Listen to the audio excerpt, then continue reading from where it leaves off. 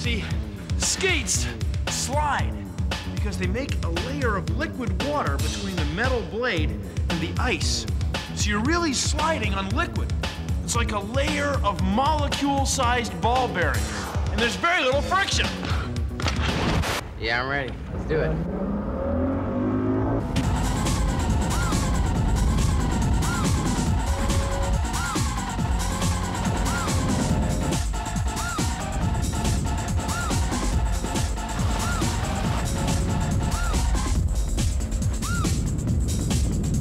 Basically, the trick to barefooting is minimizing the friction so you can glide over the water better. Because of the energy and the friction of the water, your foot will start to burn.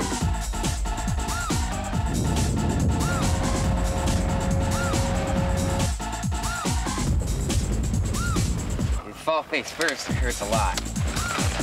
But uh, usually if you just let go and, and you fall, bad because the water feels a whole lot softer. Barefoot water skiing is the greatest sport I've ever done.